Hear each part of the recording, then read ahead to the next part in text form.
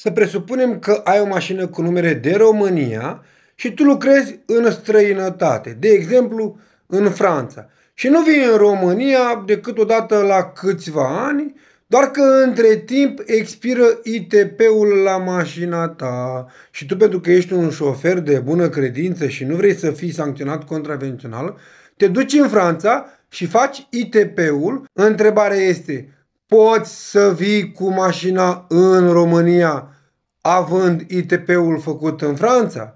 Ei bine, răspunsul este că nu, pentru că orice ITP făcut în altă țară pentru o mașină înmatriculată în România este valabil doar în țara respectivă. Reiau, dacă tu ai o mașină cu numere de România și ai făcut ITP-ul în Franța, în Spania, în Italia, ai voie să conduci doar în țara respectivă pentru că nu există o normă UE care să recunoască acest ITP la nivelul Uniunii Europene. Dacă ai o mașină cu numere de Franța și faci ITP-ul în România, este valabil exact același lucru. Poți să conduci în România cât timp este valabil ITP-ul, dar dacă vrei să te duci înapoi în Franța, trebuie neapărat să o duci pe platformă. Atunci când plecăm cu autovehiculul înmatriculat într-o țară și îl conducem în altă țară, trebuie să ne asigurăm că ne întoarcem înainte să expire ITP-ul, pentru că în caz contrar avem două soluții. Amenda sau platforma. Acum, eu știu că mulți cărcotași vor spune, domnule, dar de ce trebuie neapărat să faci ITP-ul în țara respectivă? Ce, ea n-au ingineri buni? Nu înseamnă că autovehiculul corespunde din punct de vedere tehnic?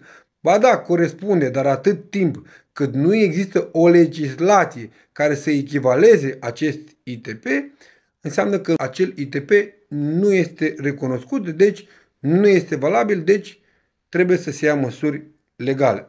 Părerea mea este că nu s-a dorit echivalarea acestui ITP la nivelul Uniunii Europene, tocmai ca să ne constrângă pe toți, da? nu doar pe români, să ne transcrim autovehiculul în țara respectivă dacă locuim acolo, dacă stăm mai mult timp, tocmai ca să nu ne eschivăm de la plata taxelor, să nu ne facem ITP în România că e mai ieftin sau să zicem, domnule, că mă duc în străinătate și o las înmatriculată în România, că oricum dacă îmi trimite amenzi la mine la primărie, eu nu le plătesc, că mai am acolo vreo 200 de milioane și nu le-am plătit. Mă pune primarul, adun câteva panseluțe, da, tun iarba și gata. Mi-a mai tăiat din amenzi și tocmai din acest motiv, da, ca să te constrângă un pic, poți să circul cu mașina în țara respectivă cât ai ITP.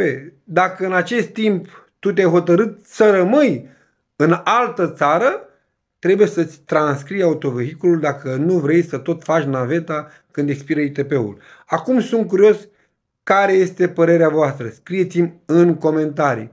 Credeți că este un lucru bun uh, treaba asta că nu se echivalează ITP-ul sau este doar o birocrație făcută doar să ne pună pe drumuri?